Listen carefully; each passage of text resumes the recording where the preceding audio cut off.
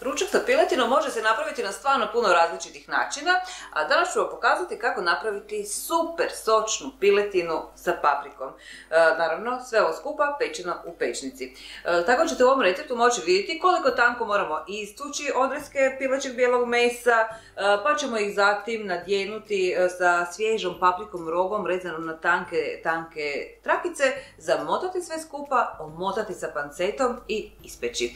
Bog svima, ja sam Sandra Gašpa, dobro dobrodošli u Recipeci kuhinju. Ako volite fino kuhati po provjerenim receptima, na pravom ste mjestu. Pretplatite se na Recipeci YouTube kanal i stisnite ono malo zvono sa strane kako biste uvijek bili obavišteni o novim Recipeci video receptima. Idemo mi sada na ovaj ručak. E, znači, moramo pripremiti piletinu. E, za ovaj recept ja uvijek koristim muče dijelove pileta, znači ne baš cijelo pile, ali iskomadano i batke i zabatke. A bijelo meso koje je inače prilično suhi komad mesa, ako se samo ovako stavi peći, pogotovo još e, bez kožice, bude nakon dosadnjikavo, suho kada se ispeče. I zato ćemo upravo oko bijelog mesa malo se više danas potruditi.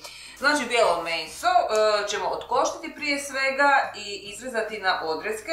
Znači svaku polovicu bijelog mesa e, odstraniti ovaj središnji mali dio i prerezati po, kroz sredinu, znači kako bismo dobili u biti dva onako veća odreska od svakog dijela. E, bijelo meso, kako se ne bi raspalo prilikom utanjivanja batom za meso, s obzirom da je jako osjetljivo, e, ćemo istući preko folije. I moramo ga utanjiti što više možemo, znači što tanje to bolje i tako ćemo biti dobiti i veći taj komad mesa. Ovako utanjeno meso začinit ćemo, znači solju sa paprom. I sada ga idemo zamotati, znači e, papriku u rogu, svježu papriku, izrezati na ovako tanke prutiće staviti na svaki komad mesa tri ili četiri ovakva prutića, sve ovisi o tome koliko vam je meso veliko i jednostavno zarolati. Znači dobili smo jednu malo deblju roladicu i sada ćemo još dodatno ovu roladicu zamotati u pancetu. E, sve opet ovisi koliko vam je velika panceta, možda će vam trebati biti dovoljan jedan komad, a ako ne, onda se e, poslužite sa dva komada pancete. Znači bitno da je ovaj komad mesa narolani ovako lijepo zamotan u pancetu. I to je to. S obzirom da ćemo mi ovo naše meso peći u limu za pečenje u pečnici, znači ne moramo stavljati nikakve čačkalice jer ostaće ovako fino kompaktno e, tijekom cijelog postupka pečenja. Znači na isti ovaj način idemo zarolati preostale odreske.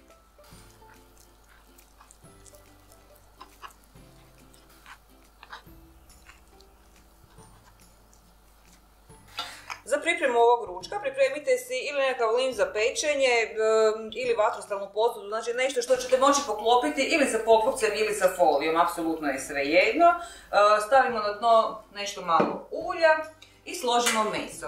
E, znači vidite da ja ovdje koristim i batke i zabatke. Meni je ovo idealan ručak za pripremiti za cijelu moju obitelj, pa zato ima ovako nešto više mesa.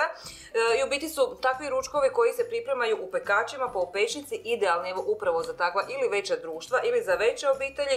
Jer možete napraviti pa, veliku količinu e, hrane, mesa, bilo čega, a da ne morate stalno provjeravati i gledati kad se lijepo sve peče u pečnici, onda imate više slobodnog vremena za pripremiti nekakav prilog ili možda desert upravo taj ručak.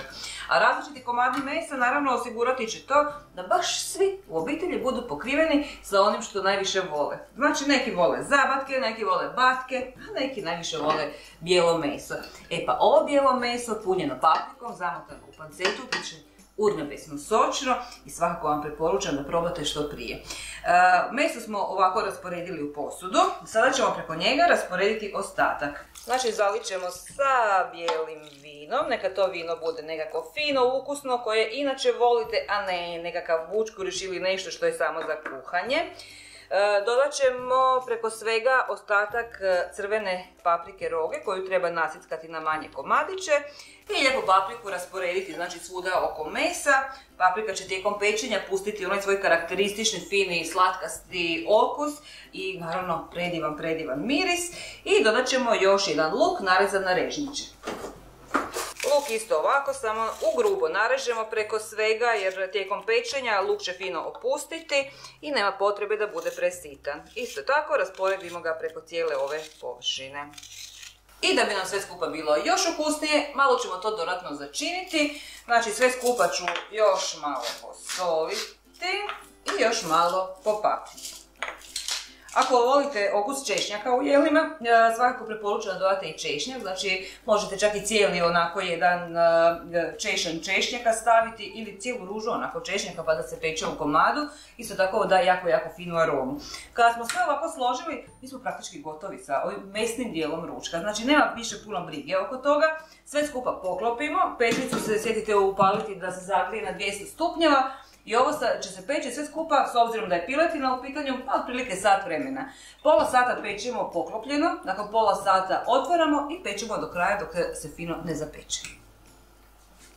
I evo ga, naš se ručak ispekao. Znači, nakon otprilike sat i 15 minuta e, pečenja, vidite kako se to lijepo zapeklo, kako je meso na kojem smo ostavili kožicu dobilo finu, finu tuharska voću i finu tu onako smečkastu boju. Predivno miriši.